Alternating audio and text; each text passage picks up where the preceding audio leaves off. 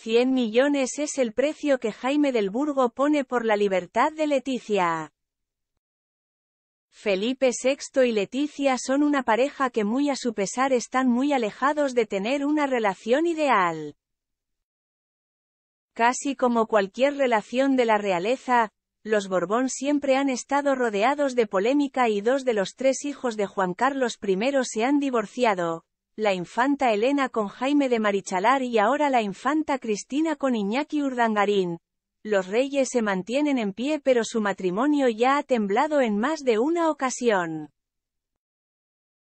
2023 fue un año difícil para Felipe VI y Leticia, pues muchas cosas ocurriendo han causado que no puedan encargarse de todo, como por ejemplo problemas con sus familiares, discusiones con sus hijas o peleas entre ellos mismos dentro de Zarzuela.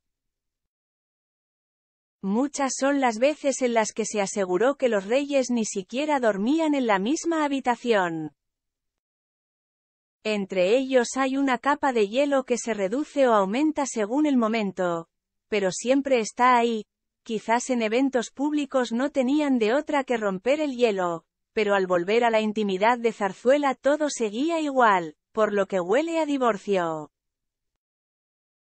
Condiciones para el divorcio de Leticia sugeridas por Jaime del Burgo. No es la primera vez que se barajea tanto el divorcio de los reyes. Durante los años 2010 y 2011 Felipe VI y Leticia atravesaron una de sus mayores crisis.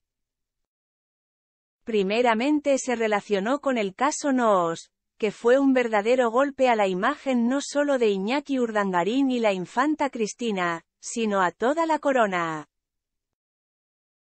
Leticia le echaba la culpa de todo al Felipe VI y esto ha provocado una crisis junto a otro escándalo que se descubrió mucho después, donde evidentemente va incluido Jaime del Burgo, abogado y ahora presunto amante de la reina consorte Leticia. you